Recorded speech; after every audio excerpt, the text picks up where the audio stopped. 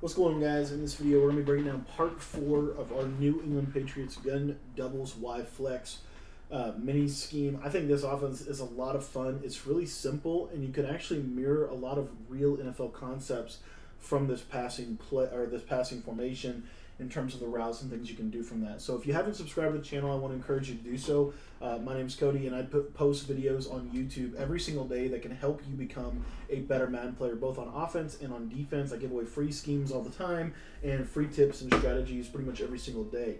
Now, if you are enjoying this series and you want to get my entire New England Patriots offensive guide, then you can get that in the description. I actually broke down the entire playbook. I broke down every formation in depth. It was over 400 pages of material on this playbook. If you want to do a deep dive into New England, because I think this is going to be the best playbook in Madden 22, you can start doing that right now in preparation for next season, and a lot of the concepts are going to transfer over. So, um, if you want to start getting ready for Madden 22 right now, I would recommend the New England Patriots guide. I think that New England is going to be the best playbook for a number of reasons because of the trips tied in, the bunch, the U trips, the ace slot, but also because of this formation right here. I think this doubles Y flex is really underrated, and uh, we've been in the midst of a series kind of giving you some money plays and some just some really just an entire scheme and entire offense from it. So, uh, anyways, we're going to talk specifically today about this under Y option.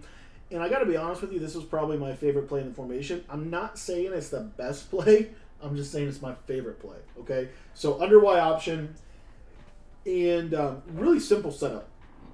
Really, really simple setup.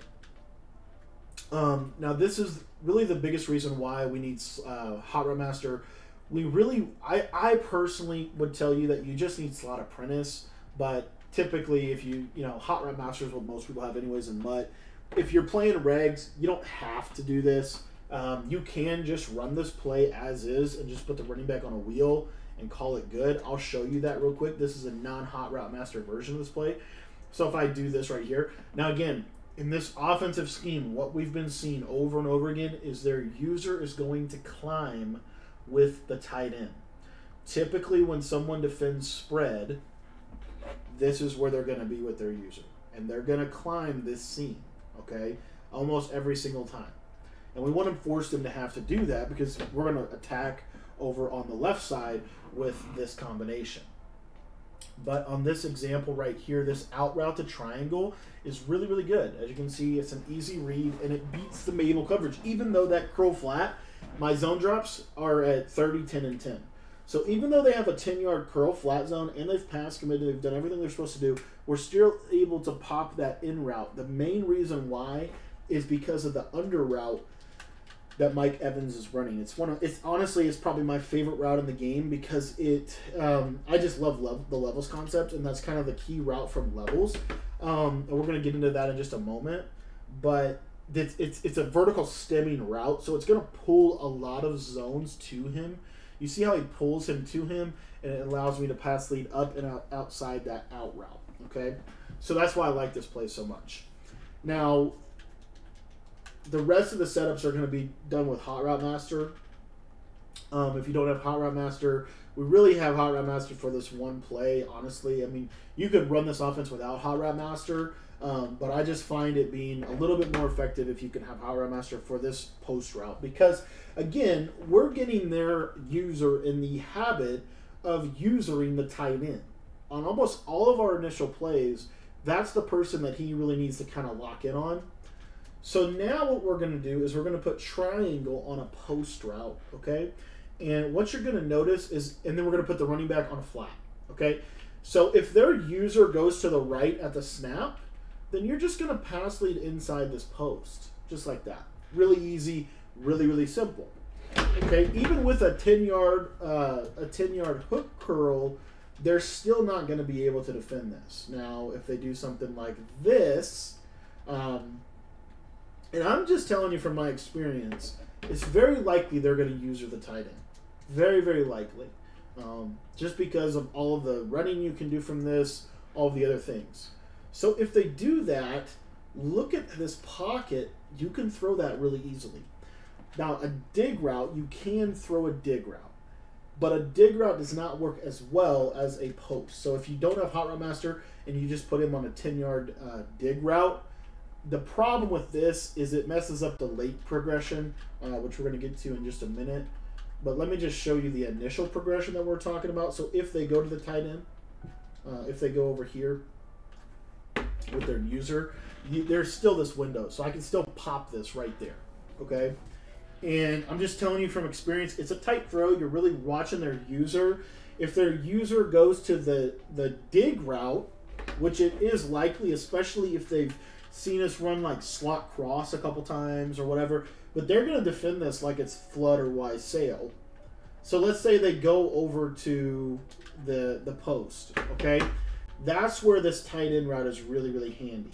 Um, it's basically just a simple option route, but it gets in such a weird little pocket of the defense. It's going to be he's going to go out and then curl right there. That route is so so so good against man and zone because against man he's just going to go on an out route, and against zone he's going to sit. So let's talk about. Um, let's say they have a yellow and a 30 yard cloud and then they're using this post they're really and again guys i'm just trying to give you you know best case scenario for the coverage um, and how they're going to try to adjust to this so now they make that adjustment and now what you'll see is this running back table route is wide open now, if you don't want to run a table route, you can run a wheel route. You can also, um, the route that I really like from this, especially specifically for like pressure and you know if they're going to blitz you and stuff, um, I really like to put the block and release to the tailback. So, and the reason why I like that is because of the, the type of flat route that it turns into. It's just a little shoot route. And I love how this really pulls the zones out of the way. And as you can see, you go right to your tight end. Now, um, what you're creating on this left side is a high-low read between your post route and your little um, under route. Okay, so if their user, let's say their user stays on the tight end, so he stays over on this side. Okay, then what you're going to get is you're going to get this under route and this under route is really good late. So maybe he like starts left, goes right, does a bunch of stuff, right? This under route is un- gets under every yellow, as you can see. Easy five yards, easy low ball. That's another read that I really like. So the other thing that you can do with this under route is let's say that um, let's say that they on the on the left side. I want you just to watch snap, and I'm just gonna lowball it right there. Now, I will tell you that the purple zone does a decent job at kind of sitting on it, but like out of cover two, if they were to run, and I don't think they would, but if they were to run like a cover two to try to get um, some extra underneath defenders, right? Maybe something like this. And they're running they're running like cover two. Oops. Like that. Okay. Now they've got a little bit extra help over the middle. Um, this is really good against yellow zones. So if they're running the purple zones ironically play it a little better than the yellows do. But the yellow zones you'll see he's just gonna come right underneath it. Okay? And it's if you low ball it, it's normally pretty good and pretty consistent. Now against man to man, this play is still really sound. Um, and I'm going to talk about why here in just a second. So you'll see if I try to press the tight end, here I got him to press, but I just want you to watch. This tight end is going to pretty much just work man to man on this quick cut, quick out cut. So you'll see he's going to get this nice little out cut, and it's just a possession catch. He's just going to body him up. Um, but honestly, I I have a lot of success with this um, with this route to the tight end. So you'll see, um, especially if he doesn't get pressed. So if he doesn't get pressed, it's like almost every time money. Easy read right there. Now again, where's their user going to be? Um, typically, their user is going to climb with the tight end. If their user doesn't climb uh, with the tight end, then you throw the tight end. If he does climb with the tight end, which is more likely, um, so here he's going to climb with the tight end. We're going to have this yellow or that zone over there. Then you can work your backside. So you can work this levels concept. You can hit the square receiver right on the end cut, or you can hit the triangle um, you can hit the triangle uh, post route. So let me just show you. See, it's such a simple little play, but so effective. Um, right there. Okay. Now I want to give you one other version of this this concept, and this is if you want to threaten the seams a little bit more. Um, this one's really good for threatening the seams. Now again, you have to start with the presupposition that it is very likely they're going to climb that seam with their user. But if they don't, then you have your tight end. So uh, what, what that would look like is basically we're just going to streak the tight end, curl flat, concept the other two. So this concept right here. This is where I like to motion the tight end. Um, you can motion the tight end out if you want to. Um, do know that you're going to move square in. But what you'll see is if they're not paying attention to that tight end, it's a, just an inside pass lead, and you've got a dot. Okay, so so that's an option. That's, that's all I'm saying. It's, it's an option. One last little, um, and you have that, and then obviously you have the curl flat concept. And then again, this is going to do a better job because their user has to follow him. All right, he has to follow him. If he doesn't, you're throwing to him. But then the next, um, the next option that you can go to is you could block the, you could actually block the running back and just run this simple concept like this. Um, this is rather, I mean, it's just really simple. Uh, there's really nothing else to it.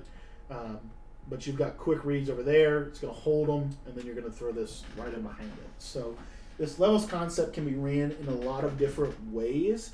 Um, I just think the way I showed you first is really effective.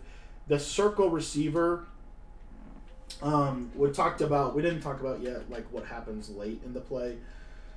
So let's say that, you know, like the play breaks down, and let's just say for whatever reason they go and they take this underneath route, the square.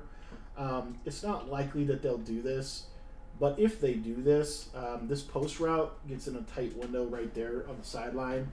You can't hit that. That's in result of the the streak and the curl combo coming underneath everything. So you've got that. You can hitch the tight end if you want to. Um, if you don't want to run the the route the way that I've got it set up, the reason I like this though is let's say that they have a yellow zone on the backside, which this could be a. They, I mean, they could do that if they have a yellow zone um, on the right side of the formation. This thing will still kill it. So watch how it gets outside, and then I can just outside pass it. Now David is doing some David Levante. David is doing some Levante David stuff. This is where you might want to move him. You see how I just moved him outside a little bit more, um, just to give me a little bit more space and this backside, it's not a big deal that they're compressed like that. That's really not a big problem. It might even help the concept.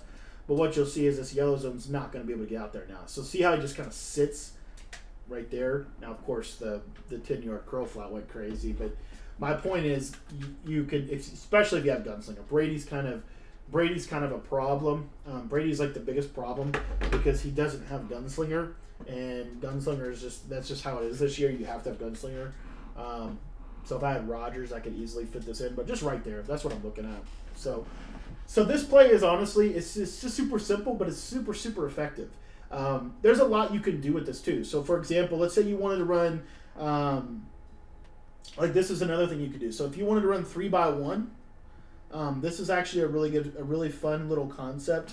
But basically, all you're going to do is you're going to take Godwin, put him on a post, and then you could take Brown and you could you know do whatever. You could um, you could put him on a flat. You could put Godwin on a corner and Brown on a post. This concept right here, right, like you're seeing me do with a streak and a ghost route. This concept's a lot of fun to run. This is a really fun levels concept um, because they have to climb the streak to the tight end. Because again, the way people are going to defend this, you're going to get something like this and they just have to climb. I promise you, they have to climb that fade. They have to climb the tight end route, and so it just opens up everything on the opposite side. You can throw the corner, you can throw the post, and then the levels concept. So this is just a lot of fun. This this play, there's a lot of things you can do with it. But what I love most about it, if you wanted to run a traditional flood, you could too. Um, again, I didn't I didn't hit on that. Um, if we wanted to run a traditional flood, we could. Um, again, I'm just telling you from experience, they're going to use for the tight end, which is not bad. It's just a truth. It's what they're going to do. So, so what you could do um, is you could take the tight end and put him on a corner route and then basically run like a sail concept. This is something you could do. Um, I'm not saying you should do it, okay? I just don't think it works. I'd rather just run sail because you see that they're going to kind of run into the same area. I like that option route, that little curl. Um, I either like to use that option or I like to use a fade to really pull the user deep and then now this. So it's either going to be this setup right here, this setup, or or we're going to do this where we simply do that. Okay, um, that th- this play is can be ran in several different ways, but I find that this right here is the best way to run it, um, just because this triangle route just gets so so good. Uh, it, it, because now what you're doing is you're going to force their user to go from the right side of the field to now he's going to have to start working back on the other side. Now, if you run this concept, another little trick of the trade is if you run this with the ball on the left side, um, you're just going to have more space. That's all it is. So, and let me just, the zones do certainly play different depending on the hash mark that you're on. So, um, let me just show you this real quick before we take off. The reason I'm sharing, sharing this with you is because once you watch the X route, you're going to see that the yellow goes a lot more to the right in that. So that's just something to kind of be mindful of. But yeah, everything else is still pretty much the same. So thanks for watching the video. If you want to get the full New England Patriots offensive guide, it's in the description. I think it's the best offense in Madden 20, Madden 21, Madden 22, Madden 19, Madden 18. It's been the best offense for years, and it's going to continue to be that just because of the formations and the routes it has. So thanks for watching this, and if you want to get my entire New England Patriots offensive guide, you can get that down in the description.